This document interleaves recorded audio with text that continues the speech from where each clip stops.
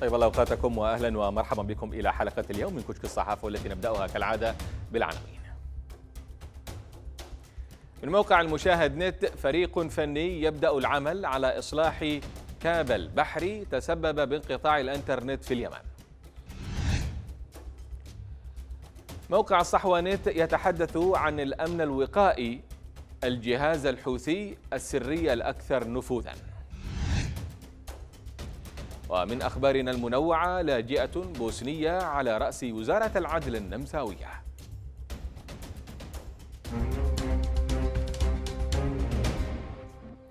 أهلا بكم.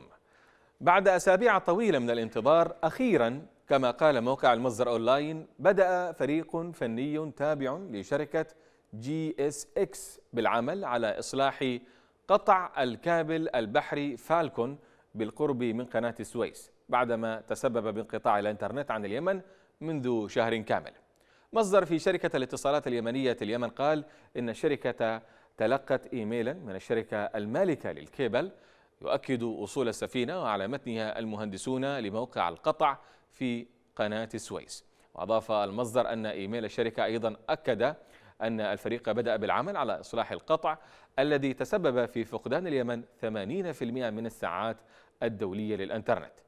منذ التاسع من يناير يعيش اليمن انقطاعا شبه تام لخدمة الإنترنت بسبب قطع الكابل البحري المزود للخدمة بحسب بيان للشركة المالكة.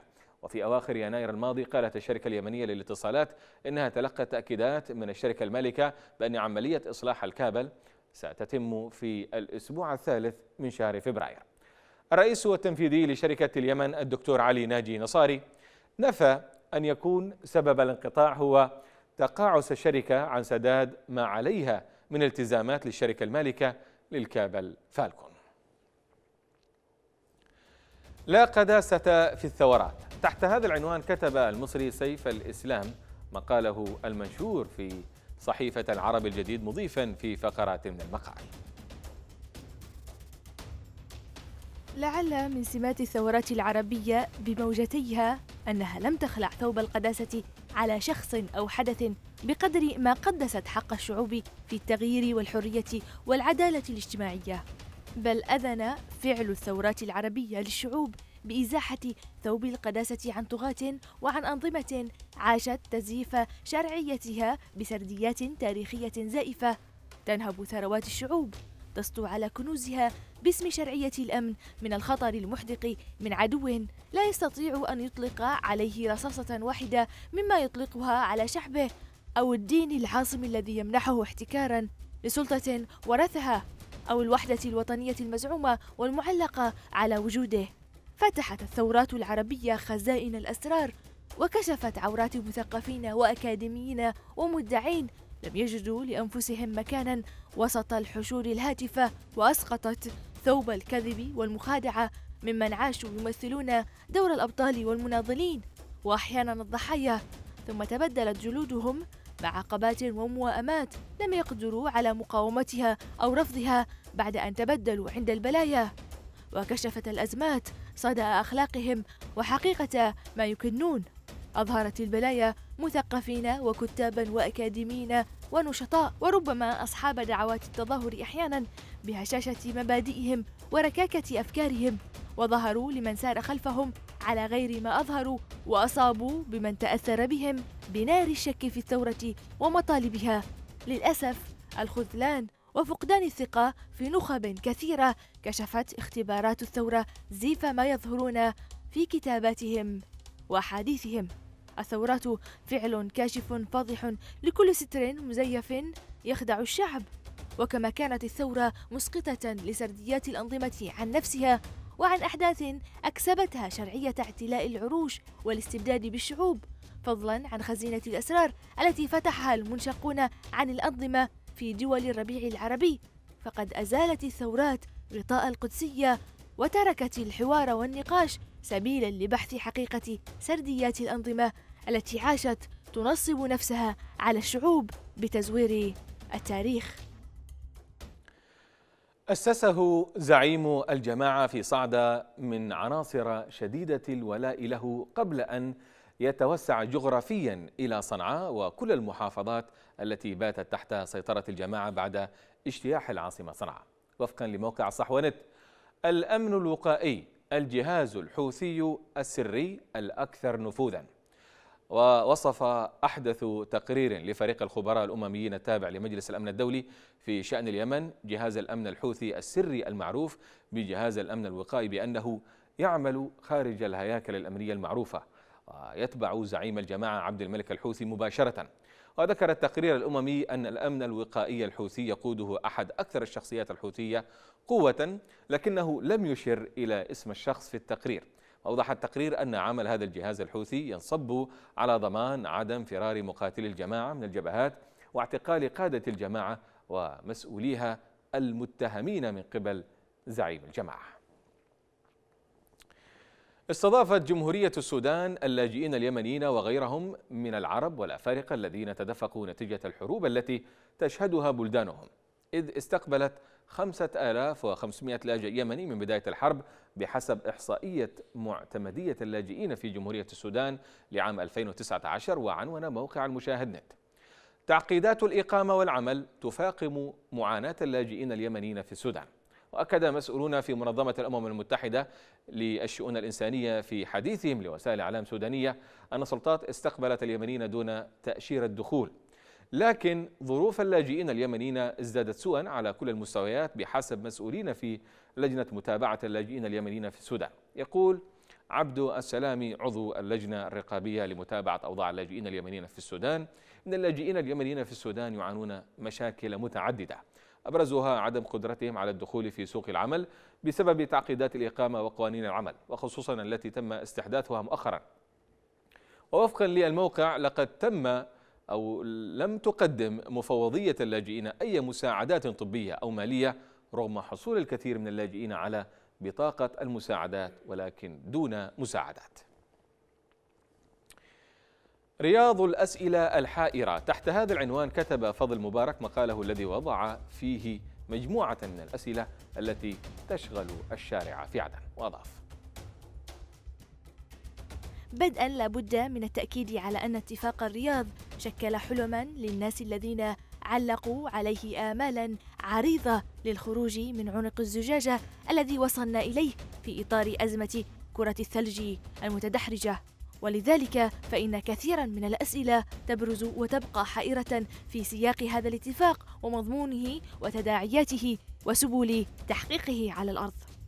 الحرب التي نتج عنها اتفاق الرياض لماذا اندلعت أساسا ومدى استفادة الطرفين المتحاربين من نتائجها وهل أضافت رصيدا إلى ملف القضية الجنوبية واستعادة الدولة التي قيل إن الحرب قامت لتحقيق هذا الهدف وهل خسرت الشرعية شيئا من رصيدها أو وضعها جراء ذلك؟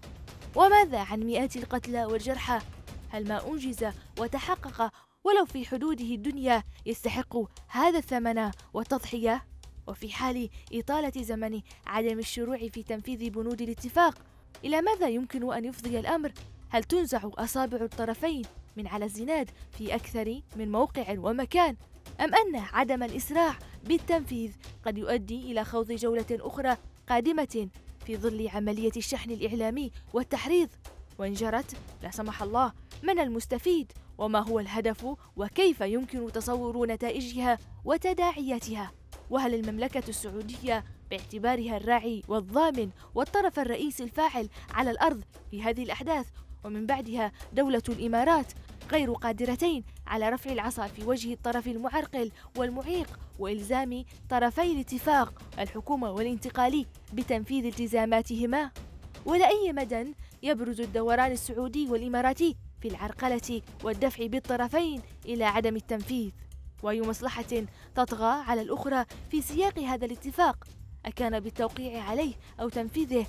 مصلحة دول التحالف وتحديدا السعودية والإمارات أو مصلحة الحكومة والانتقالي.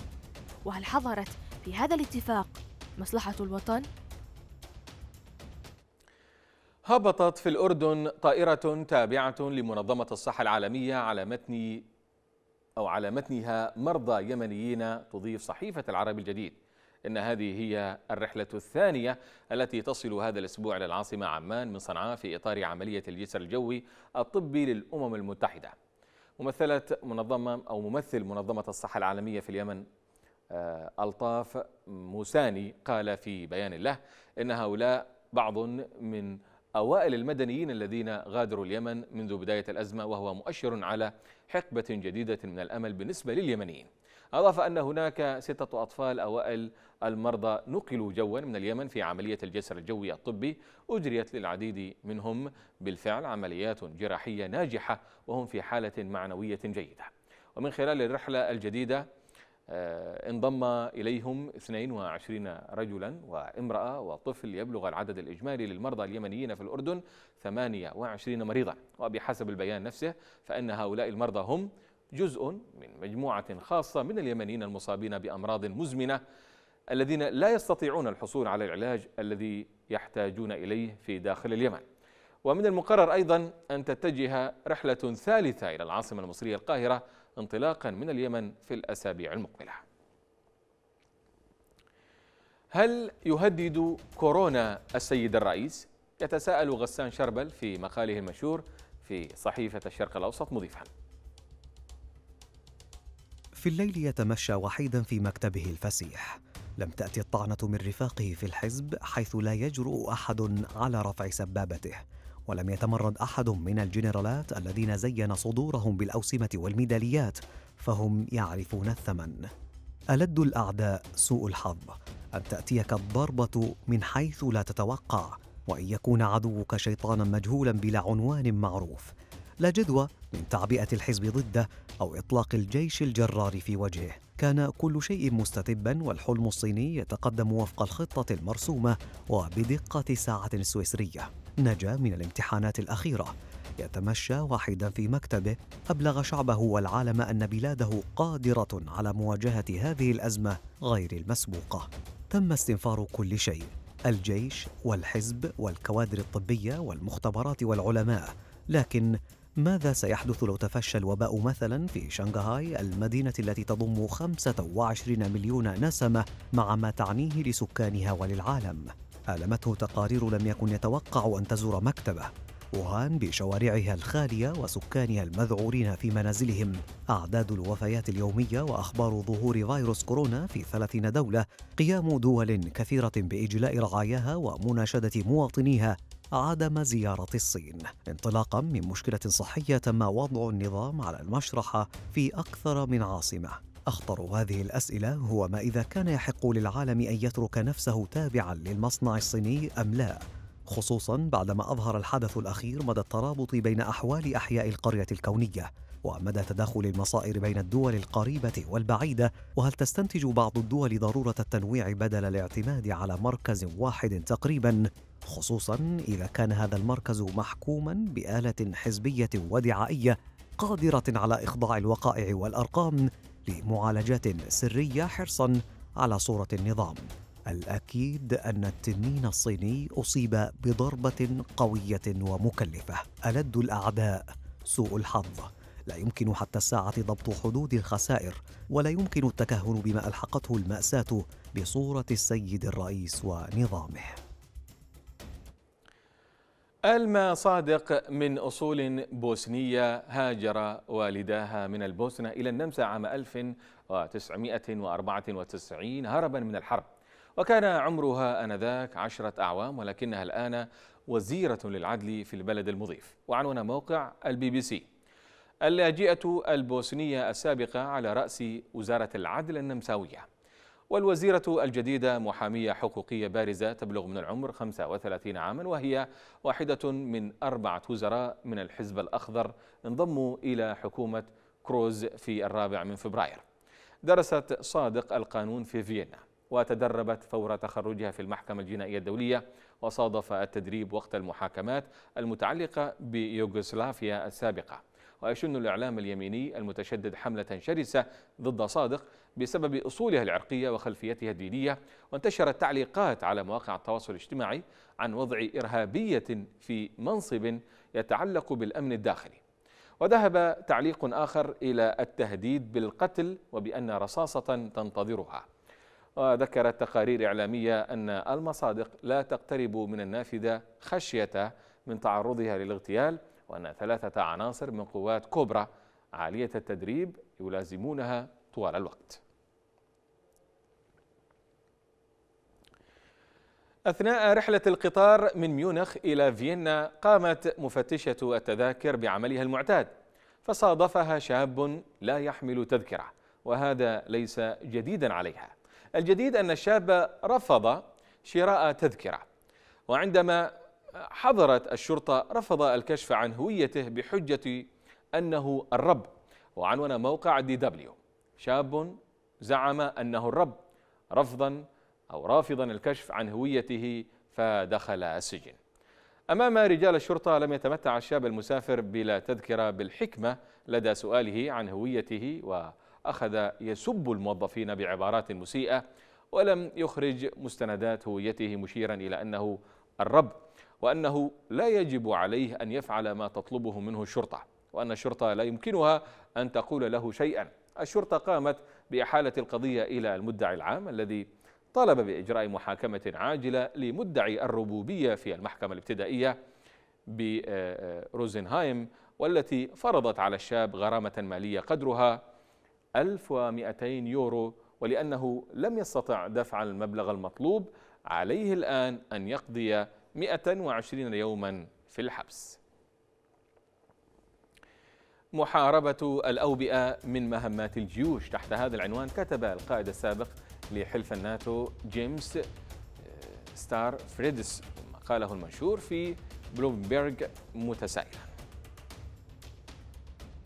هل نواجه اليوم وباء جديدا على غرار الإنفلونزا الإسبانية التي أصابت منذ قرن مضى ثلث سكان العالم؟ وبلغ معدل الوفيات بين المصابين بها 20% ربما لا. لكن إذا تفشى مثل هذا الوباء أو أي وباء آخر مستقبلي على الساحة العالمية فإن المؤسسات العسكرية العالمية سيتعين عليها الاطلاع بدور رائد في جهود احتوائه.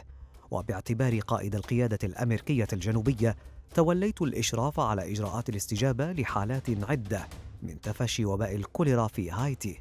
والذي يسهل احتواؤه مقارنة بفيروس كورونا. لكن تظل الحقيقة أنه أصاب أكثر من نصف مليون من أبناء هايتي ولقي قرابة عشرة آلاف مصرعهم في أعقاب زلزال 2010 واطلعت القوات الأمريكية وشركاؤها من الدول الحليفة بدور محوري في وقف تفشي المرض. وتمكنت القوات الأمريكية التي عملت بالتعاون مع نظراء من البرازيل وتشيلي تمكنت من معالجة المياه وتوليد الكهرباء وتحقيق مستوى أساسي من النظام والاستقرار بين المدنيين ولم يكن باستطاعة أي وكالة مدنية تحقيق ذلك بالنظر إلى حجم الأزمة الطارئة.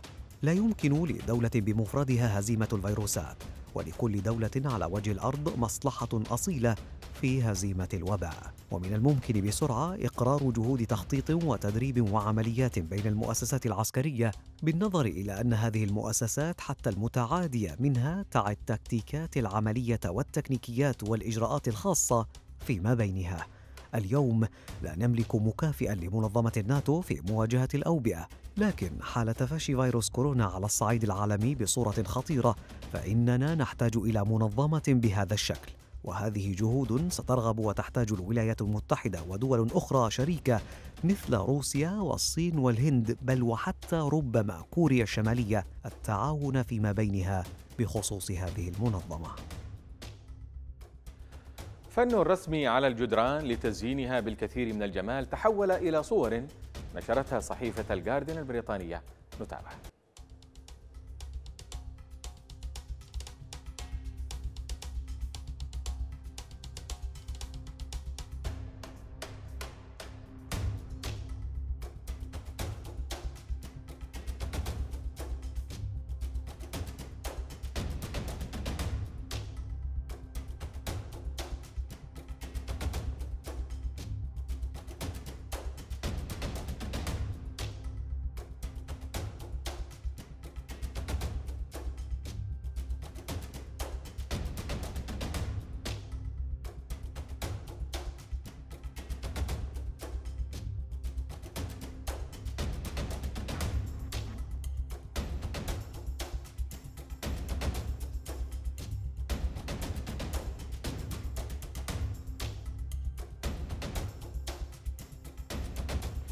الكاريكاتير فن طوع الخطوط لتصنع رسوما تواكب أحداث العالم وتحاكي قصصا واقعية يعيشها البشر في حياتهم اليومية.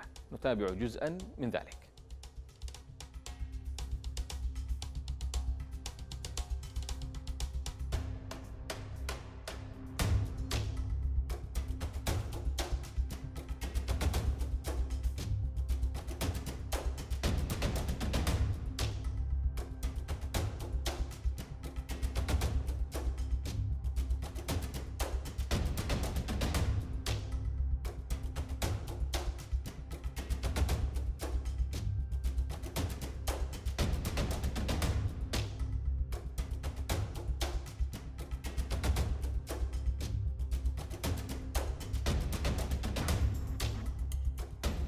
وبهذه الرسوم وصلنا وإياكم إلى ختام حلقتنا لهذا اليوم. نشكركم على المتابعة وإلى اللقاء.